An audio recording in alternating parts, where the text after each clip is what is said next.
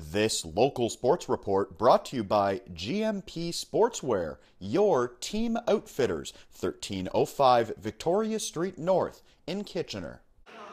Stratford Warriors defenseman Ryan Nicholson has earned a scholarship to a Division 1 school in the NCAA.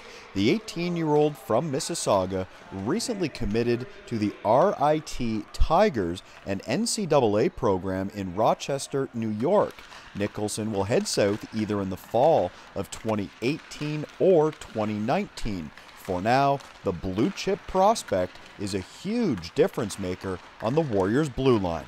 And we're pleased to be joined by Ryan Nicholson to talk about what is a very exciting opportunity committing to RIT. Ryan, just tell me some of the feelings and the emotions of this big announcement for you. Obviously, you're very excited. A lot of excitement going into it. Just hasn't fully kicked in yet. It's kind of surreal, but it just it just feels good.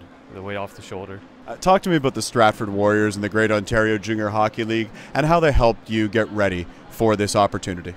It definitely given me a lot of time to with being patient, helping me develop my game and get confidence with it.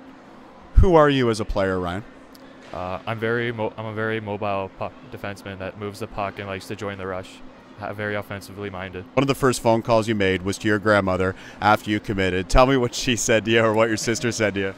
Just kind of, they kind of knew that I was thinking about going into it, but like when I just hit him with the information, I think they're kind of like, "Wow, he's he's going off to play Division One hockey. He's been talking about this for the past couple years. That it's been something he really wanted to be doing.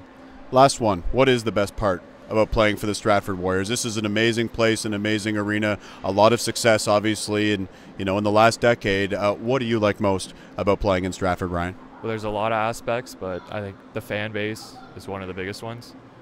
That's you know, there's no other team in the league that I think really can match it.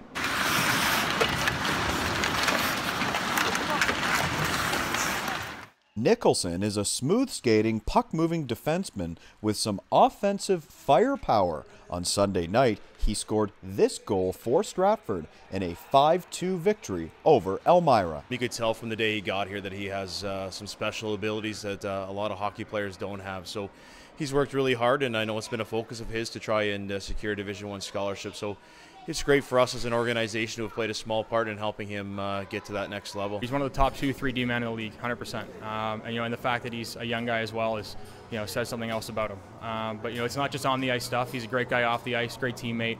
Uh, you know, you'll, you'll always find him at the rink working hard on some extra stuff. But uh, from a hockey's perspective, he's got great, you know, he's got great speed. It kind of gets him out of trouble sometimes. Uh, his shot's amazing, and he's a super, he's a very offensive threat. So uh, it's nice to have that kind of double-edged sword, especially on the power play.